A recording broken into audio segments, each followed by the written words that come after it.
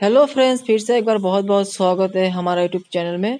तो फ्रेंड्स आज हम रिव्यू करेंगे लिबुलिन सिरप की। तो फ्रेंड्स इस लिबुलिन सिरप किस बीमारी में इस्तेमाल होता है। क्या आपको पता है? और इसका साइड इफ़ेक्ट क्या है? इसका प्राइस क्या होता है? और इसका कौन सा कंपनी इसको बनाता है? तो फ्रेंड्स इस वीडियो में सारी जानकारी आपको आज मिल जाएगा। तो फ्रेंड्स इस वीडियो को अंत तक ज़रूर देखें, बिना स्किप करके देखिए। तो फ्रेंड्स चलिए वीडियो शुरू करते हैं। तो फ्रेंड्स ये जो देख रही है लिबुलिन सिरप इसको सिप्ला कंपनी द्वारा इसको बनाया जाता है और इसका कीमत है बाईस रुपया।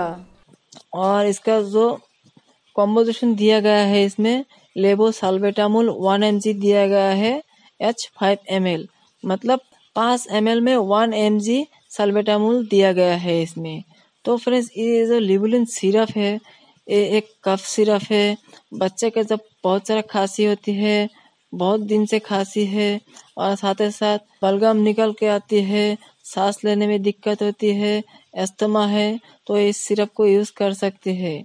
जिन बच्चों को सांस लेने में दिक्कत होती है, वो उसको भी ये सिरप दे सकती है। ये जो लिबो लिबोसाल्बेटामूल है, उस अस्थमा को ठीक करने के लिए मदद करता है। तो फ्रेंड्स, आइए जानते हैं इसका डोज क्या होता है।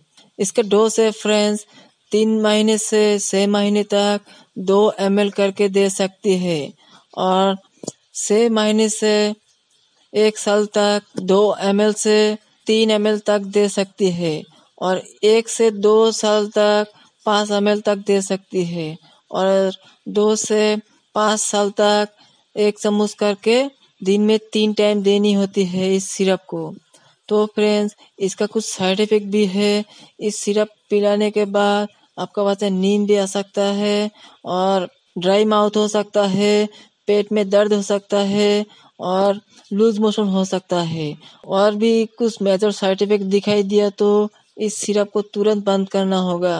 तो फ्रेंड्स इस सिरप इस्तेमाल करने से पहले अपने नज़दीक से डॉक्टर से ज़रूर सलाह लेके ही यूज़ करें। तो फ्रेंड्स ये थी छोटी सी जानकारी लिबुलिन सिरप की।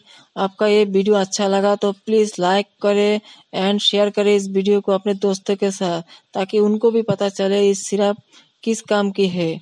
तो फ्रेंड्स मिलते हैं अगले वीडियो में। तब तक के लिए बाय बाय जय हिंद।